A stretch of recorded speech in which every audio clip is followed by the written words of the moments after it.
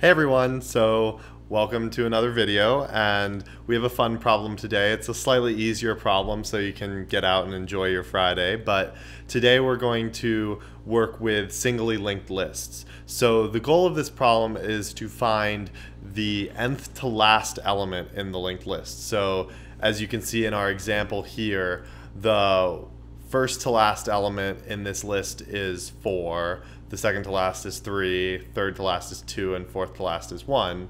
So we're going to just write a function to do this. And first of all, there aren't really that many things that we need to clarify for this question. It's pretty straightforward, but it is helpful for us to know if there's a particular way that they want us to represent this linked list.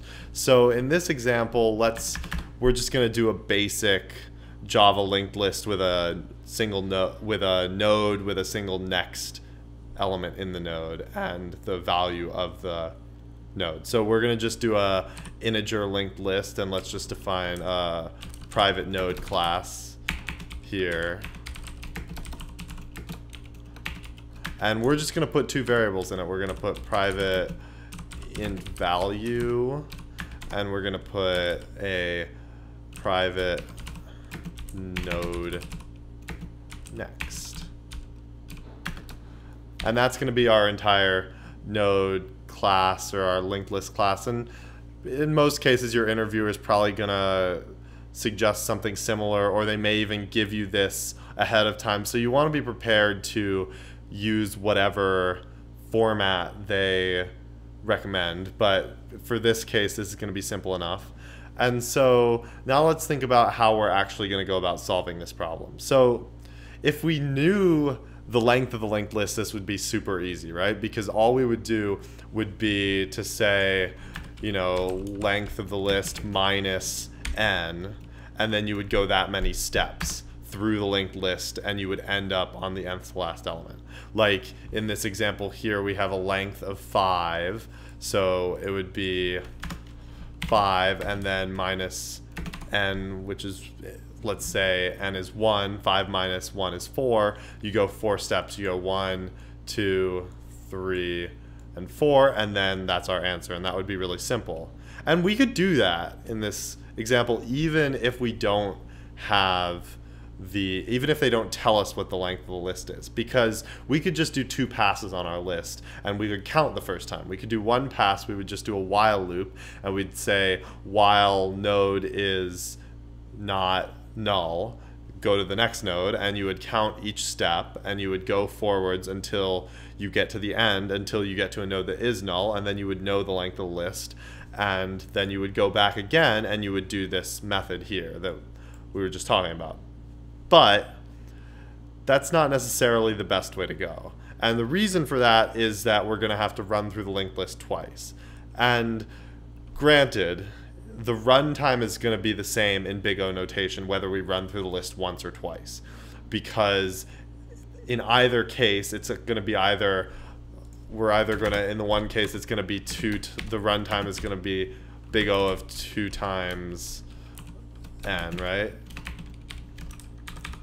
And then if we run through the list once, it's going to be big O of n, and big O of 2n simplifies to big O of n. So it doesn't really make a difference except for overhead.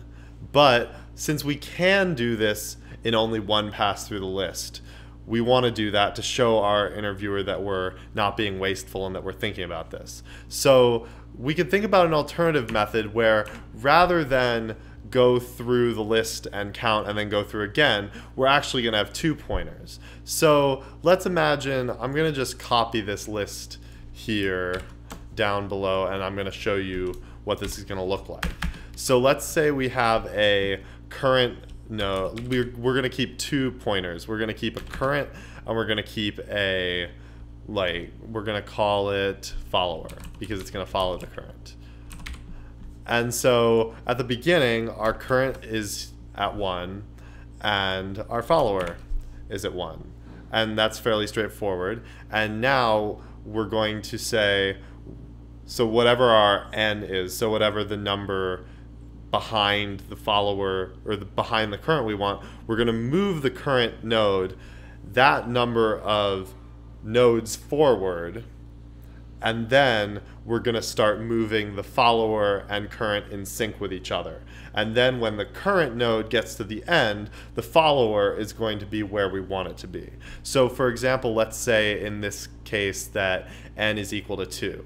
So we're going to go ahead and we're going to move current to here, right?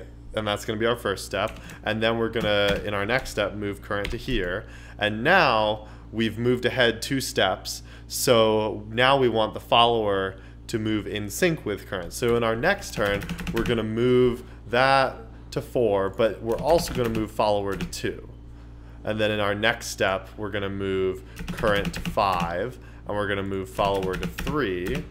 And now we know that since the next, so I'll just represent this here like this, we know that the next node after the current one is null.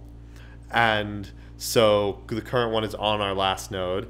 And that means that follower is now, because we designed it this way, follower is exactly n behind the current one. So this is basically what our algorithm is going to look like.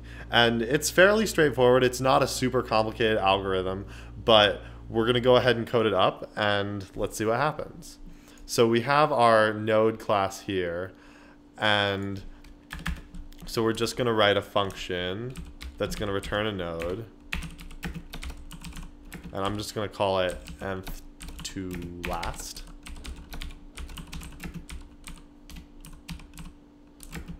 And it's going to take in a node, which is our list, and it's going to take in an integer, which is the n value. And so we need two nodes. We need a node cur, which is going to just be equal to node, and node follower, which is also equal to node. And now we want to first in our algorithm, we want to advance the current, the number of steps that we need to advance it.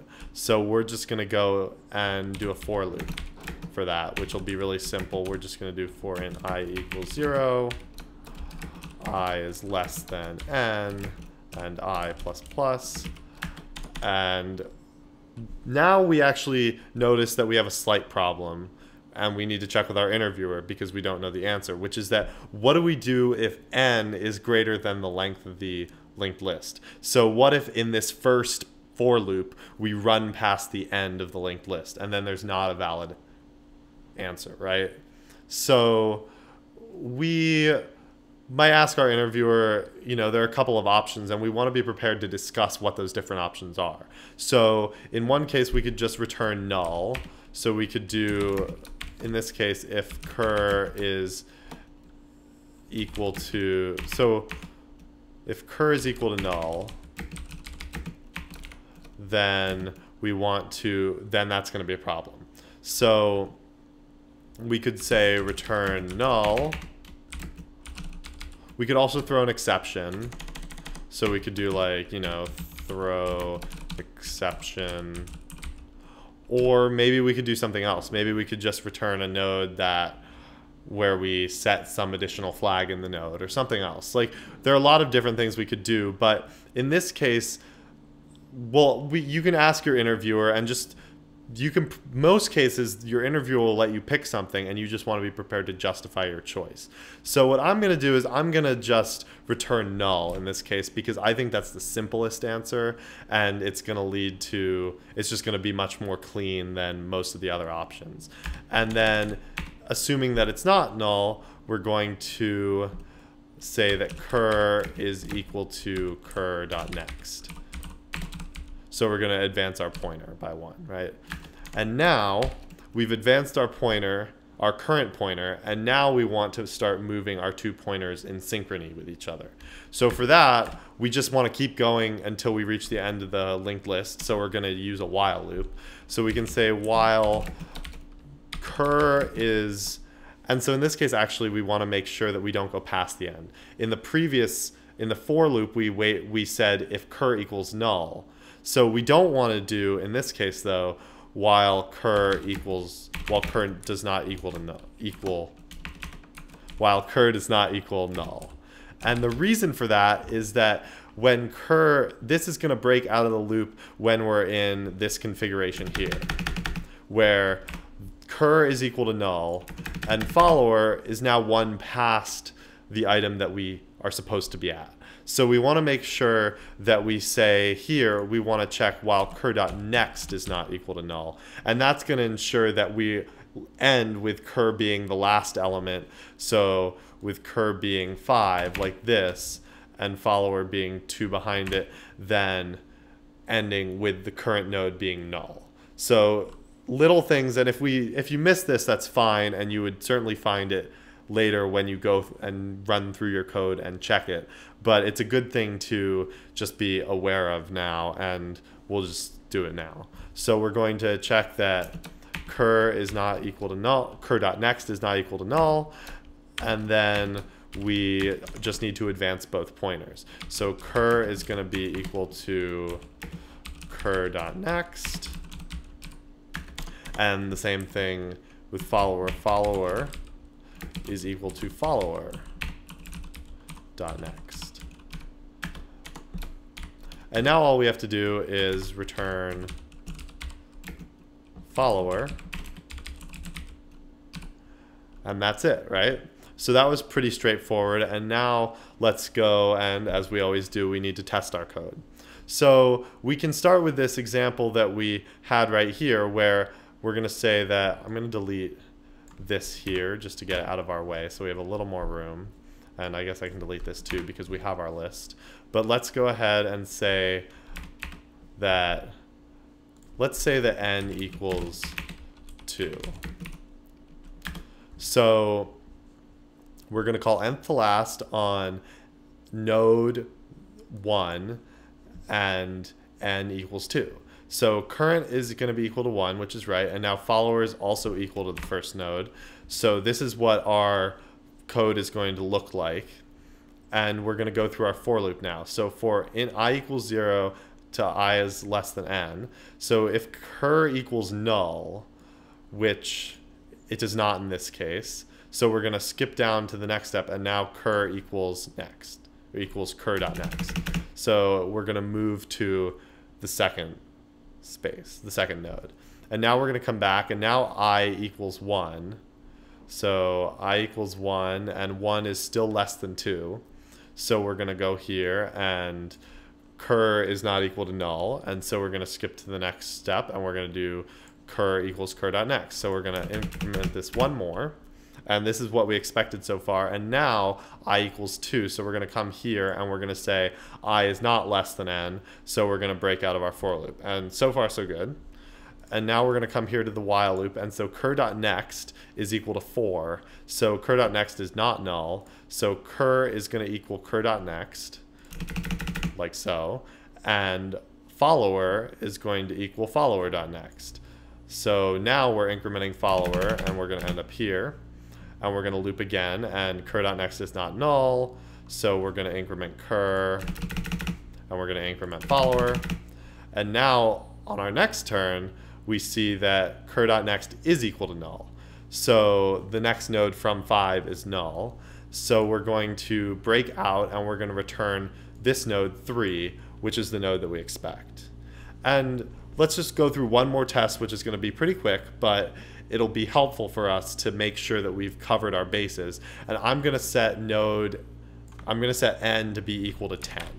So this is the case that we were accounting for in our error handling, and we just want to make sure that our error handling works the way it's supposed to. So we're going to come back and we can go ahead and reset this. And we're gonna set the we're gonna set the cur and the follower to both be one, and we're gonna come down to our for loop and we're going to iterate through this and so i equals 0 and we're going cur.net cur is not equal to null so we're going to increment it. Now i equals 1 and cur.next is still not null so we're going to increment it. Now i equals 2 cur.next is still null is still not null. Now we're going to increment again and we keep incrementing it until we get to here well until we get to here. And now cur is equal to null so, and n is equal to 5, I believe. So we're going to return null in this case. And that's what we expect. And our client code can handle that. So that's it basically. We now have code and it finds the nth last element and we've tested it and that's it. Have a nice day.